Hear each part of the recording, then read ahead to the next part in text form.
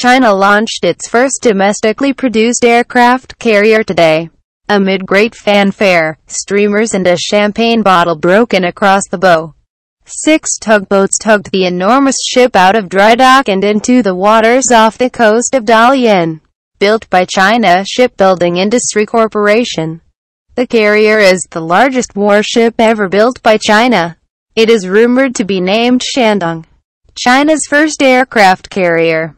The Liaoning was built during the waning days of the Cold War as an aircraft carrier for the Soviet Union. The new carrier, tentatively known as Type 1A, is dimensionally similar to Liaoning. According to the Center for Strategic and International Studies, the carrier is approximately the same size, although it might be up to 30 feet longer than its predecessor.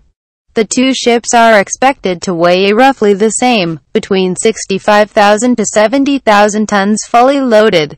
Type 1A is conventionally powered, with steam turbines propelling the ship to estimated top speed of 32 knots. The carrier has a 14-degree ski ramp on the bow of the ship to help planes get airborne.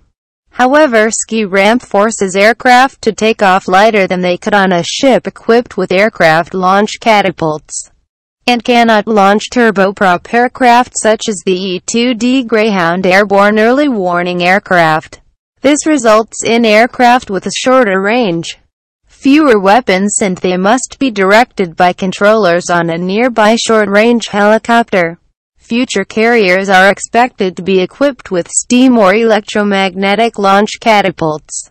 Liaoning can carry an estimated 18 to 24 J-15 fighters and 17 helicopters of various types to carry out airborne early warning, utility, and anti-submarine warfare duties. CSIS estimates the new carrier can embark perhaps eight more aircraft of various types.